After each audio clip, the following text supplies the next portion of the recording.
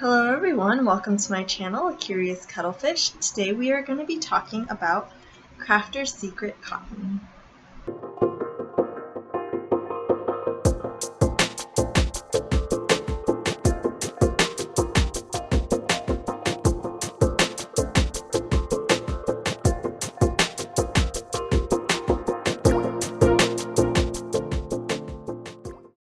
Since we are in the summer months, I thought I would do a series of different cotton reviews and I wanted to start with the Crafter's Secret Cotton. This is a cotton yarn that can be found at Hobby Lobby and so here's the colorway I got.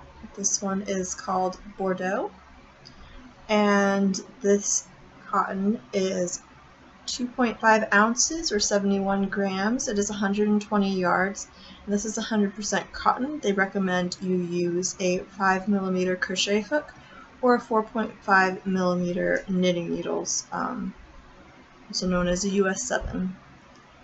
I tend to go by grams and millimeters, but I know many of you go by um, the US terms. So US 7 knitting needles and at H hook for this yarn. Um, so I believe that many of you are familiar with a Lily Sugar and Cream, so I will be doing a, a swatch of that knitted and crocheted to compare to the various cotton yarns I will be talking about over this summer and reviewing. So I'm going to fast forward a day or two to give me time to knit and crochet with this and then we can talk about it some more.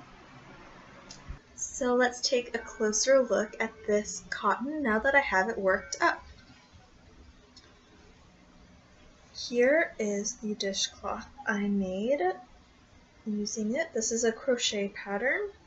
I ran out, um, so I didn't have enough to do the border in the pattern, but I will have the links to these patterns in the description box beneath.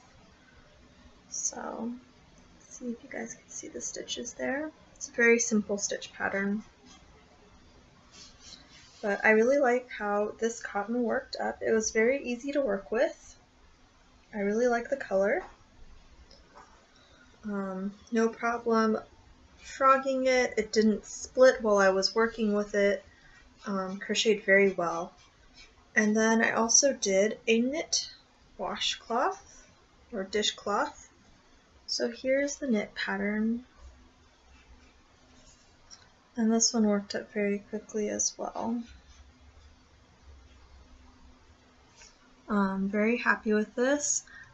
It knit very well. I didn't have any problems with splitting. I actually had a section of this that I had to tink, which is where you pull out your knitting. Um, I had miscounted some stitches, so there is the knit dishcloth I will have links to both of these patterns in the description box beneath if you are interested in making them.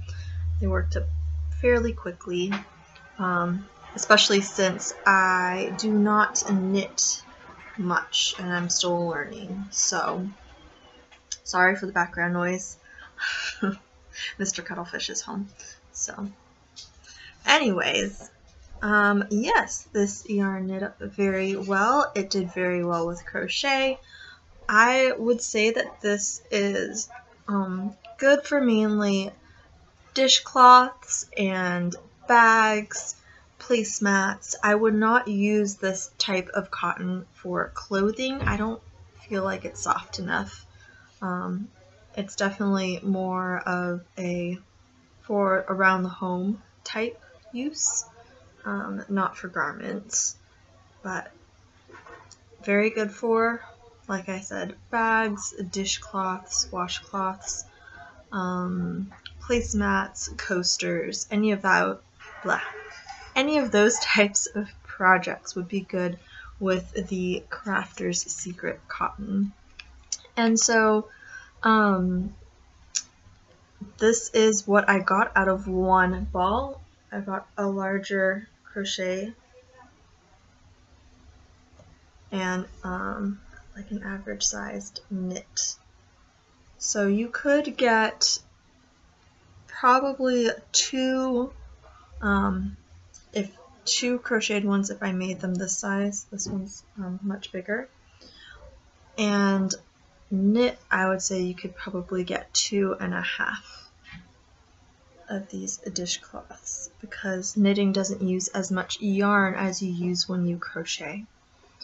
So I really like this cotton. I would purchase it again when it's on sale.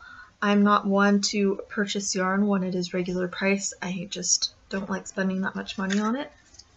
This one on the label, it was $2.29 um, regular price. I believe I used a 40% off coupon when I purchased this, so it was slightly cheaper. But um, yes, I do recommend this cotton. Um, I will be doing peaches and cream, sugar and cream um, in the future just so that I can compare these side by side and tell you which one I liked working with better.